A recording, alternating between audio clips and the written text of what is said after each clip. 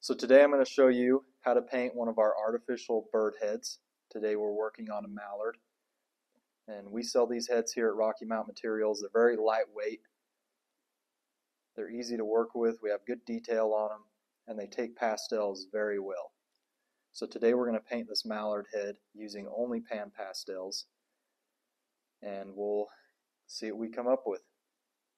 So starting off, I like to take some black on just a light brush and I like to go in some of these cracks and crevices to start with.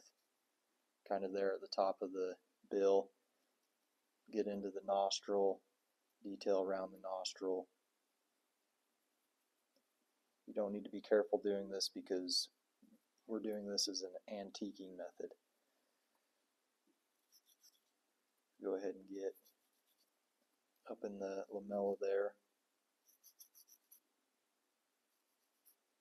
And then also in this area here underneath.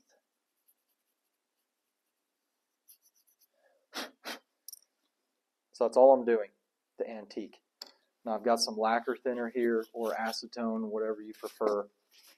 I'm going to apply a little bit on a paper towel and we're going to wipe off the excess.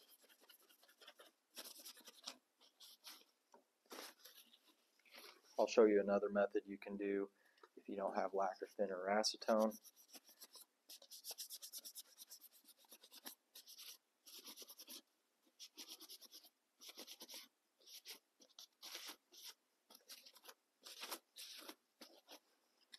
So there, as you can see, we've got a little more depth going into our main painting of this bill. Underneath, as you can see. Something you can do I've got some triple O steel wool. I believe it's triple O. Triple or double.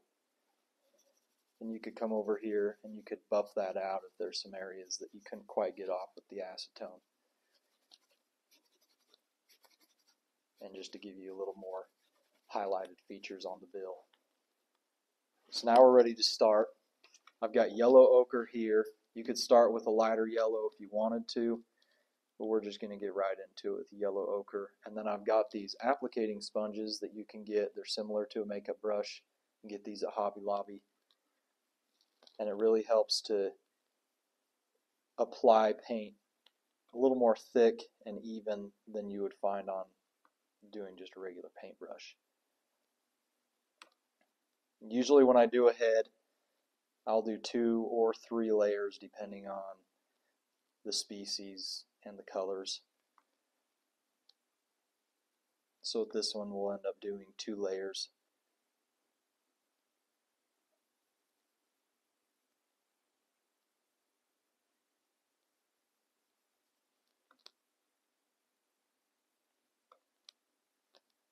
I'll just flip over to the underside. Go ahead and get the yellow areas.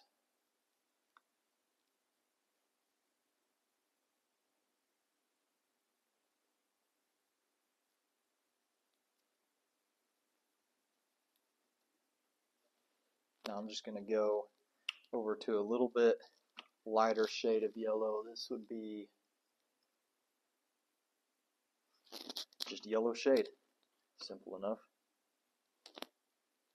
Apply a little bit more onto this head before I clear coat it.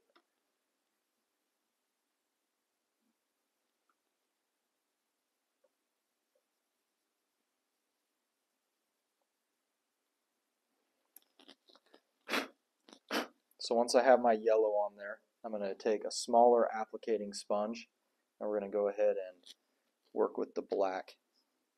We're going to do this nail up top here.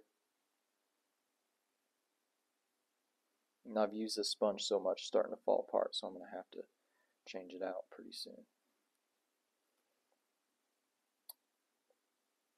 Use it here.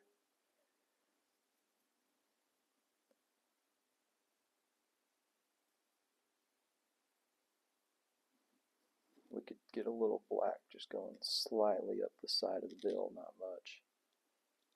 And then maybe a little bit by the nostrils. And then underside, I'll go ahead and do that nail under there.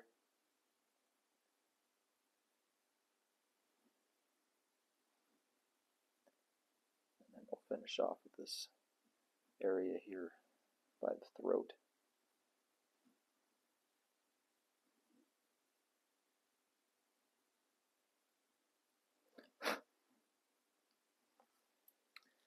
Okay, so we're going to do a clear coat on this. I get this stuff from Hobby Lobby, just acrylic clear, clear acrylic coating, and it's in matte. Make sure you don't get anything that's gloss or satin, or your head will look fake and shiny. Now we're just going to do a, a quick even coat on this. We're not going to go super heavy. We just want to lock our colors in.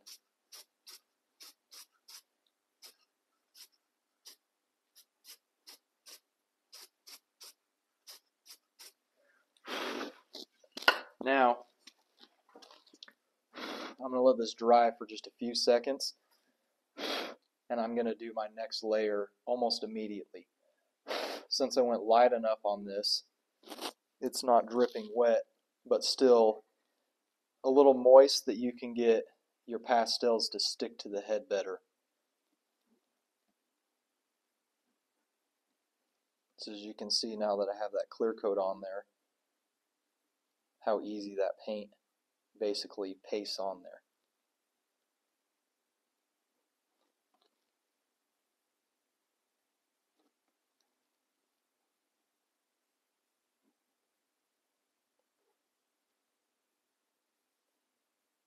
If the head's too wet with the clear coat, it'll just smear. So you have to find that balance of time where it's not too wet but it hasn't dried so much that it doesn't apply as well as you'd like it to.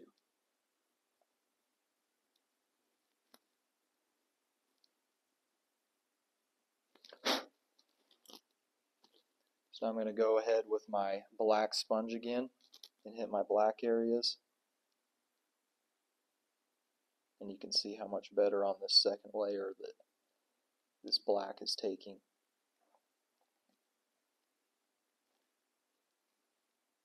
We'll just finish off the nail real quick. Get this underside finished up.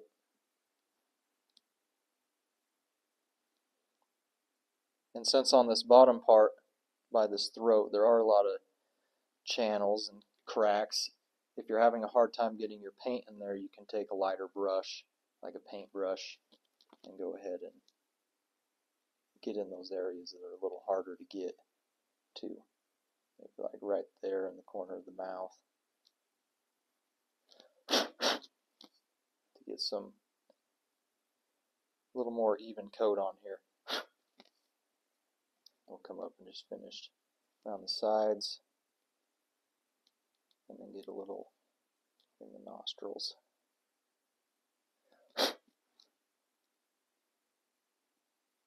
The paintbrushes are good to do a little blending too.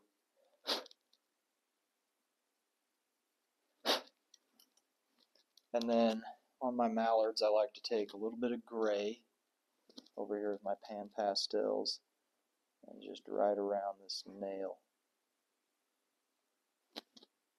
You could do gray. Maybe we'll try a little green to see what it looks like. It's very subtle.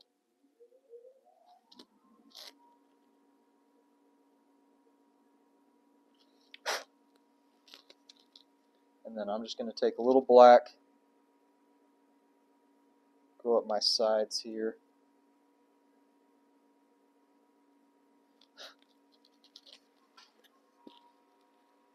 Clear coat that, and we're done. Same as the first time, we're not going overly heavy.